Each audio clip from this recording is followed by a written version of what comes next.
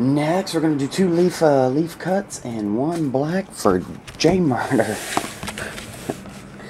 Alright, what's up, Joseph? We're going to do uh, seven and nine. And zero five for black. And we'll do black first.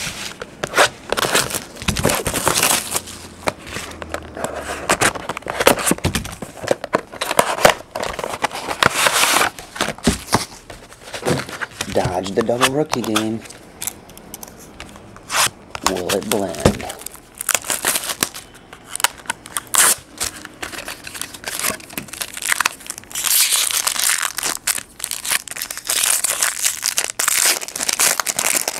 You got plexiglass, so you did it.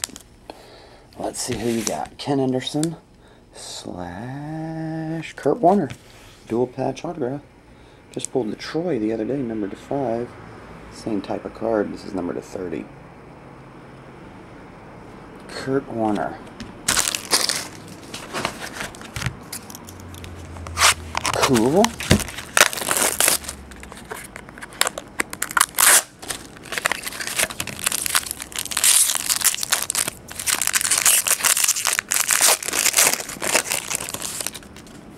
Brett Favre. Good flag patch. Zing. Jason Smith. Three ninety nine. See, I think that was the intentions of most box. One pretty good card or an all, a different card, and then one regular rookie. Versus a lot of them tend to have two regular rookies. So that box actually got made correctly. All right.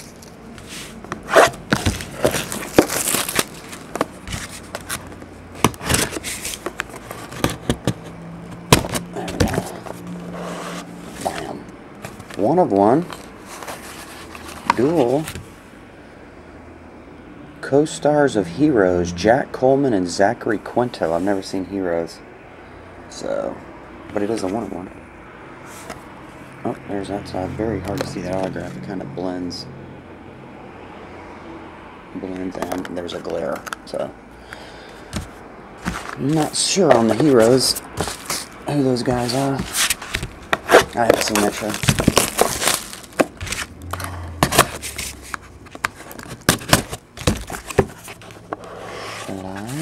One of one. Heather Graham. I do know her. Oh, they even give her credit for Boogie Nights. That's my favorite movie of all time. Paul Thomas Anderson film. She's Roller Girl. Uh, she got a pretty weak autograph, if I have to say so. Heather. I guess that's an H, and I guess that's a Graham. Okay, but it is a one of one. There you go. Joseph, appreciate it, man. Two one on ones and a nice looking Kurt Warner. Not too shabby. Uh, I'll get him out. See ya.